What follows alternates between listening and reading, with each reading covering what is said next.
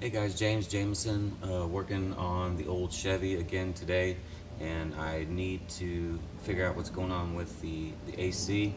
The AC is actually blowing pretty cold, but um, there, there's just not hardly any air coming out of the vents. You can see there's a little bit of air, but when the truck's moving and it's 100 degrees outside, this is not nearly enough air to not nearly enough air to cool you off even if the AC is blowing at 40 degrees. So there's a few things it could be. Um, it could be a weak blower motor, it could be something in the wiring or a ground or something in the blower resistor. Uh, what's really common on these trucks is that the evaporator just gets really clogged with all the crap that gets sucked in from, uh, from the outside vent and then it just sticks there around the evaporator. Uh, so we're going to look at that. Uh, we're going to test a few things. Uh, first thing we want to do though is gain access to the blower motor which is right here under the dash.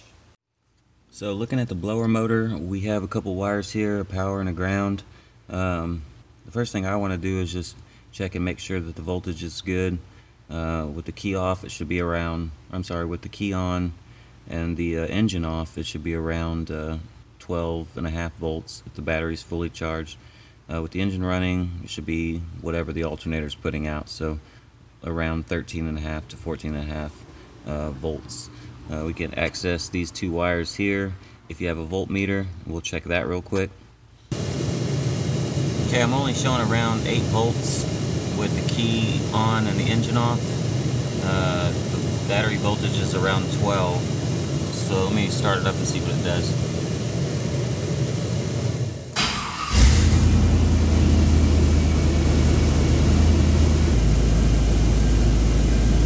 About nine and a half volts, which is a little low. So we're losing a few volts, but I'm gonna disconnect the blower motor and recheck it. So we're getting good alternator voltage, 13.9 to the connectors. I probably just didn't have it um, all the way on there. We're probably getting some sort of voltage drop out of the blower motor. So at this point, I can say that my connections are probably okay, or at least the wiring to the connections are okay. I might want to uh, play with these a little bit and, and make sure that they're getting a tight fit on the blower motor itself. Um, but we know the blower motor is working and we know that the wiring to the blower motor is doing what it should be doing because we should be showing max voltage when the uh, blower is on high. Alright, so what happens if you don't have a, a voltmeter or multimeter? Um, that's fine. Uh, you can, I mean, it, it's helpful for sure, but you can do just do the sound test. These blower motors are really loud, and if yours isn't loud when the AC is on high, then you probably have a problem. Most likely, it is going to be really loud. If it's not really loud, then then you may want to invest in a multimeter or uh, or pay someone to figure out what's going on. Uh, but this is just a simple test, and as far as electrical diagnostics, that's something that you should be familiar with if we need to go further than this, but that's for a totally different video. Uh, for this one, since we know that the blower motor is working, it seems to be loud enough, it's getting the correct voltage, uh, then we need to pull the uh, blower motor out and see if we have a clog between the blower motor and the um, the evaporator. You should understand a little bit of at least what's what's happening here. So this is the blower motor. We've already established that. Uh, this is part of your your whole AC and heater box, your HVAC box. So inside this box, you have um, the evaporator, you have a heater core, and you have a series of doors and uh, some sort of motor or actuator that will open and close these doors um, or move them rather.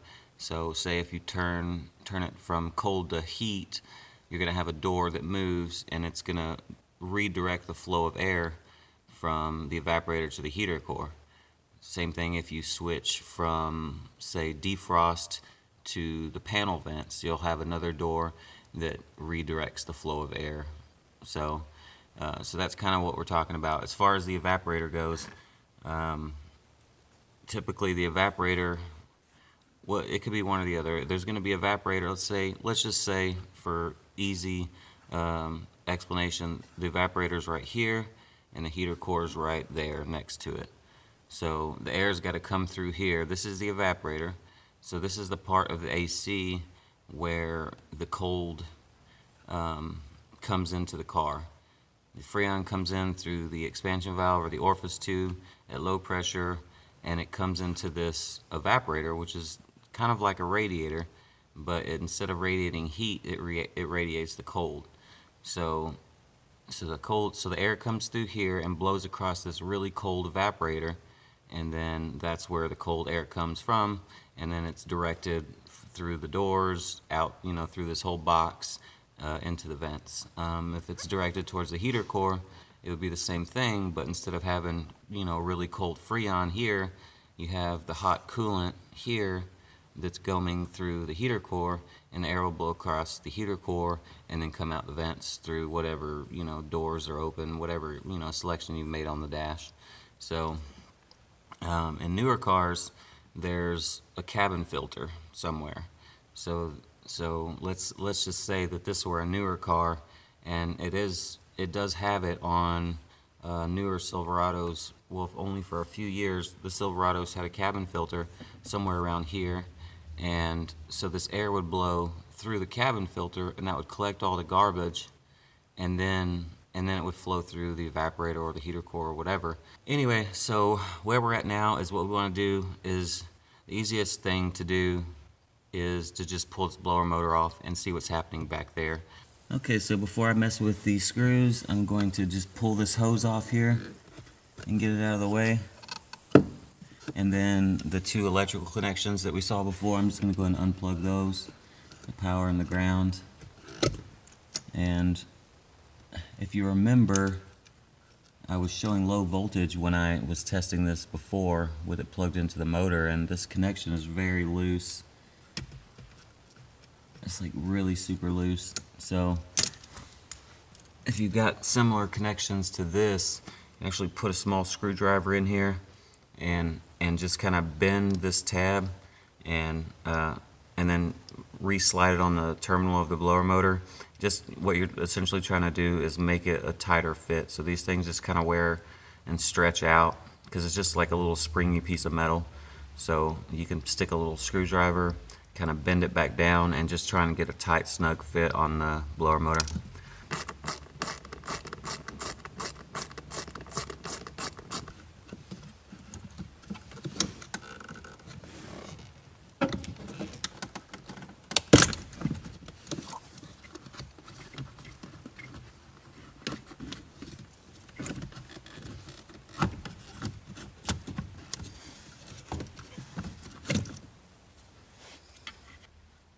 Okay, so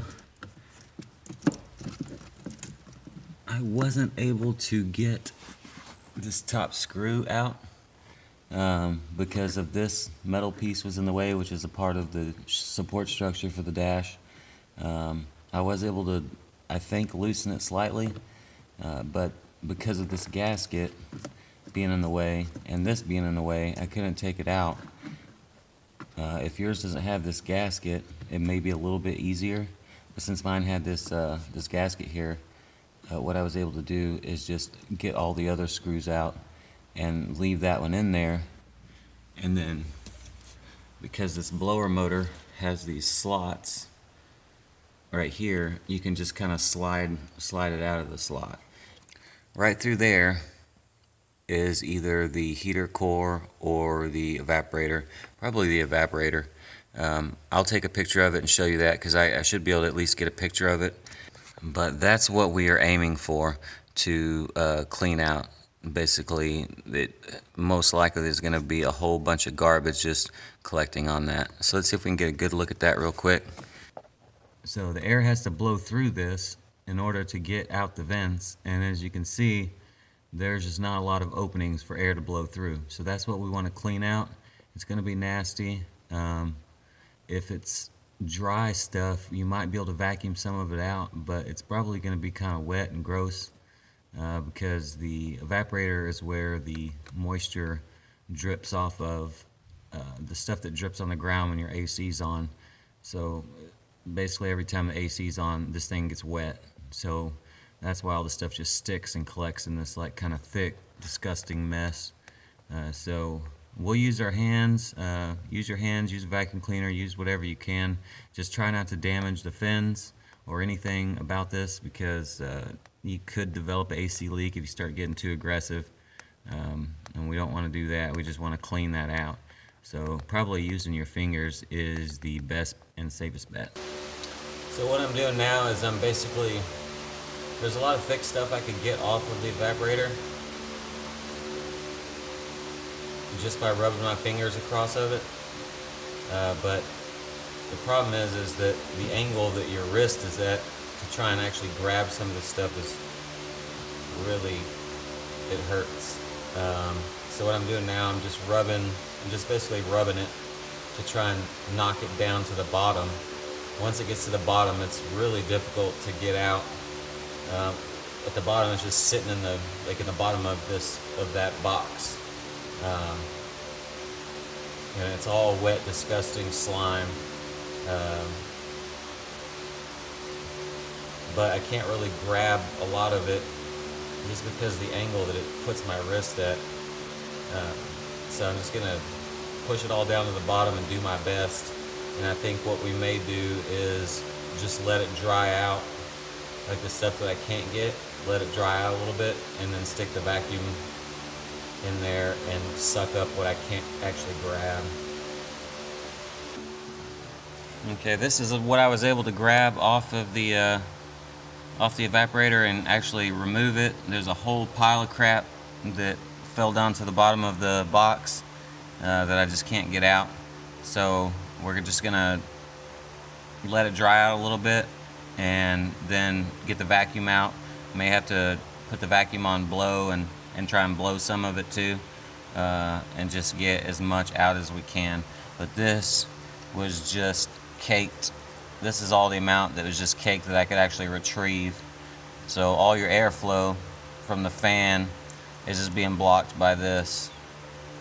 All right, so while I'm letting this dry out, um, there's a lot of little crusty stuff like this that's like actually in between the fins of the evaporator. Like the fins are obviously a lot smaller than my fingers, but they're just like, you know, like a radiator. If you look at the front of a radiator, it has all these tiny little fins. There's just little pieces of metal that radiate either heat or cold, in this case cold. Uh, but all this crap is like, you know, in between this that I can't get out with just my fingers. So I'm gonna use this old toothbrush and just like kind of rub and hopefully that that'll loosen up a lot of that stuff that I can't get and, you know, hopefully improve the airflow that much better.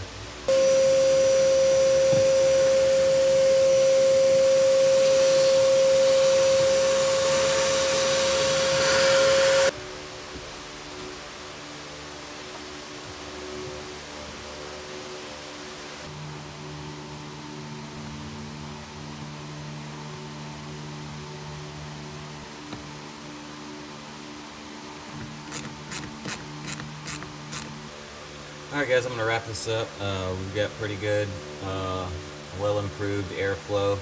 Not perfect, not 100%. It's not a 2017 car. Uh, there's some more things that we can do and I may or may not make another video on that, but uh, just from what I was able to grab out of the vents, I mean you can see like, or out of the evaporator, you can see like all this crap that was just blocking airflow uh, plus a lot that I was able to just blow out with the vacuum cleaner and suck out also with the vacuum cleaner. But like I said, that's not all that we can do. Uh, we can improve it further. It's just going to require removal of the whole dash. So that won't be today. Um, but the essentially, like we saw the box. So this whole box has, it's joined together and it has seals where it joins and also has the ducts that come out to all the vents. So, so you have uh, like a foam seal basically. And this truck's 20, 21 years old. it's old. Um, so at every junction where there's a duct that comes out to these vents, to those vents over there, and also the junctions where the box um, joins together, there's these like foam seals that are most likely completely rotten and deteriorated. So you're probably losing air out of every one of those seals as well. So this should make a huge improvement. I mean, just the amount of air that this is blocking. If you're not happy with that, then, and you know your blower motor's good and all that's good, the wiring's good, electrical, etc., etc., then we're just gonna have to pull the dash out um, and and start replacing all those foam seals. Probably pull the um, pull the whole HVAC box apart and do all that. Uh, that's a lot more work and it's not so much for the DIYer. Um, but we can do that if, you know, that's one of those things that you'll have to make the decision on your own whether or not that you want to go through all that work.